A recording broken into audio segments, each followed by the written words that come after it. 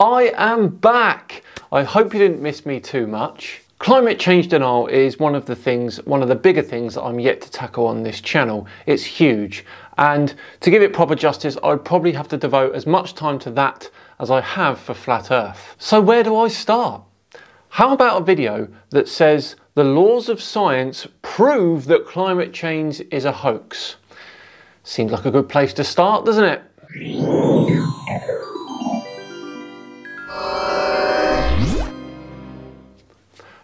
And welcome along to another episode of Tinfoil Tuesday with me, SciManDan. Thank you very much for joining me. Saved by Grace thinks that climate change is a hoax.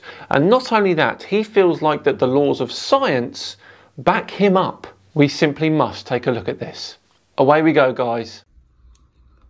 I want to introduce a question. So, I think it's Newton's third law of thermodynamics where he says that. Sorry, whose laws of thermodynamics? Newton's? We'll let that one slide, but it's not a good start, is it? For every action, there is an equal and opposite reaction. Yes, that's Newton's laws of motion, but I'm sure you knew that. For every action, there is an equal and opposite reaction. Does this not, law not destroy climate change? In short, no. Thank you all very much for joining me. I have been SciManDan. Have yourselves a great weekend. jokes. So if in my action I choose to pollute how do we not know that at some point, in some way, this sets in course an equal and opposite reaction of counter pollution? We don't. But of course, we also know that this is not how that law works. This law is about two interacting objects, not some shoddy butterfly effect which you're describing here. Some people might say that um, this only works in motion, Newton was studying motion. Indeed, and that is what I'm saying. But how do we know? How do we know, know that by, you know, taking one element and changing the nature of it, you know, burning it, turning it into a gas or ash or whatever, that it does not have to respond in an elemental nature to keep the world in its state of um, uh, homeostasis. Yeah, I see what you're saying, but that's a biological phrase. Let's go with equilibrium. Or whatever. So the world can continue to go on as long as it needs to go on. Well, the Earth kind of does that, but it's got nothing to do with the third law of motion. There are carbon banks, if you will, that lock carbon up. The sea and rocks are good examples of this. Also, plants do a great job of processing some of that carbon by turning it to energy for themselves and oxygen for the atmosphere. However, if we as a species start pumping lots of carbon dioxide into the atmosphere, these carbon banks and the uh, recycling process that the plants use can't quite keep up. And after a while, there'll be a bit of a buildup of carbon dioxide in the atmosphere. And as we know, carbon dioxide is a greenhouse gas, which means it's pretty efficient at locking in heat. You know, I think it's pretty simple and easy to understand that that there are things going on in the world today and people that are making choices and they don't understand that it has an equal and an opposite reaction and they can't understand the reaction. So for instance, we've seen scientists release, you know, types of bugs and uh, that are not native to an area to try to combat mosquitoes or ants or whatever. And every time they do this, we have an equal and opposite reaction that we're not counting for, and it creates the opposite nuisance. Yeah, this is not a good example and again cannot be explained by Newton's third law of motion. So instead of maybe having those ants as a nuisance, the the thing that we we used to counteract the ant nuisance then becomes the nuisance. And we've seen this over and over and over again in populations of things. So I believe that it applies to the nature of the world because that's the only way the world stays in balance. And 200 years ago, I would have completely agreed with you. However, this is the world now. This is what we are doing. This year so far, 17 billion tonnes of CO2 has been released into the atmosphere due to human activity. It will be over 40 billion tonnes once the year is out. And you'll see people talk about this in all kinds of ways. They'll say that the world has to be in balance. And if you set apart one course of events, then there has to be another course of events. They'll talk about like the yin and the yang, uh, and, and stuff like that. And well, I won't. They have those symbols that have, uh, that have permeated, uh, every religion. And as we see now that it, it, it permeates, um, science and uh, the third law of uh, thermodynamics, that for every action, there is an equal and opposite reaction. Why does he keep saying thermodynamics? So if I choose to fire up my car and, and create some emission, then maybe somehow that sets in, in uh, sets in a course of events because those elements that I have burned and turned turned the nature of uh, into a gas or whatever, um, a gas or a pollutant, then causes an effect that another, you know, uh, balance has to set, up, set about a restorative process.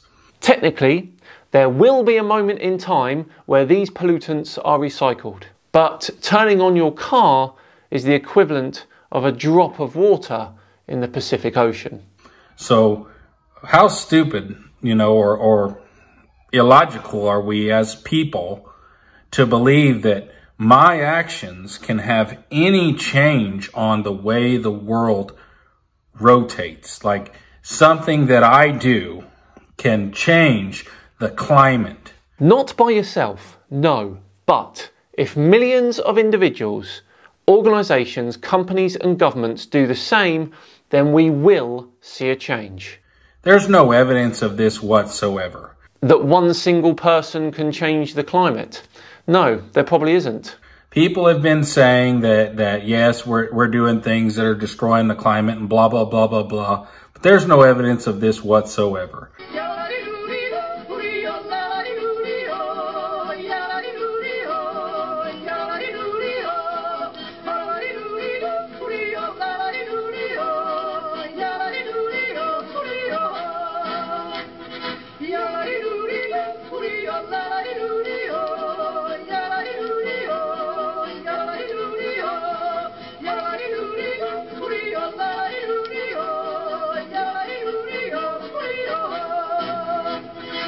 The supposed global warming. We're supposed to be getting warmer and warmer. And if you look at it, we're trending warmer and warmer. Yet the United States has the coldest snap it's had in, I don't know, maybe recorded history. Here's a frank idea which you may not have thought of before.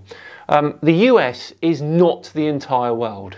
Also, climate change doesn't mean it's going to be really hot all of the time, but we certainly will see more extremes of weather, which we are seeing you know, for every action, there's an equal and opposite reaction. That's just the way it is. And if I choose to pollute by cranking up my car, then somehow, some way, uh, me taking those elements and turning them into another element or another uh, uh, state of that element then sets about uh, the equal and opposite reaction because that element has been denatured or changed into another another form of nature. To me, that is completely logical. And I think we can all see why this is an issue. And destroys the, the idea that, that we need to be stepping on people's individual liberty to save the planet. Who is stepping on whose liberty? I think it's a completely and totally asinine uh, religion that these people have. And there's there's no way that they can step up and show it for sure. All they're doing is just forcing their beliefs on other people. And that's illegal. And the Constitution is about preserving the individual liberty of each and every one of its citizens. Okay, again, the US isn't the world. But more importantly, what does the scientific community have to gain by telling people to look after the environment? And surely not doing so is kind of selfish, isn't it? You don't have the right to control my life, and I don't have the right to control your life. So we live and let live. And for my action of letting you live, you should have the reaction of letting me live. Ah, okay, we live and let live. Stuff the next few generations coming through, as long as we're all living and let living. Either way, I hope that this has uh, helped enlighten somebody to the fact that there's nothing, nothing that they're saying, nothing that supposed science is saying is set in stone. You know, science is a is a ever growing, ever evolving field of research. Completely agree with you. So why aren't you listening then to the current science? Everything that we think we know today will be proven wrong or um, that we didn't understand it correctly in a thousand years, in a hundred years, maybe even in 10 years. You know, we think that we're having this effect on the world by doing this, but we're going to find out 10, 20 years down the later down the road that it did not have that effect that we had planned on it having. And it had a reaction that we had not expected because we're not all knowing. Completely true. But if you pump billions of tons of CO2 into the atmosphere that wasn't there before, then what do you think will happen? And science is not all knowing, and until it's all knowing, then we can't know anything for fact. The fact is that that everything that we think we know is limited by what we don't know. There are things that we don't know, and the things that we don't know limit what we do know. I'll tell you what we do know, though Newton's third law of thermodynamics. So we can't know anything for sure unless, of course, we knew everything for sure, because then there would be no way to not know what it is that we, we don't know. The only way to not know what we don't know is to know all. Clear as mud. Right, let's leave Saved by Grace here, trying to figure out what he just said and wrap this video up today. Thank you so much for watching today. It truly is appreciated. It really is. If you enjoyed it, then please do like the video and subscribe as well if the feeling takes you. I have been SciManDan. Have yourselves a great week and I'll see you all on Friday where we'll be back for Flat Earth Friday and some Flat Earth observations. See you then.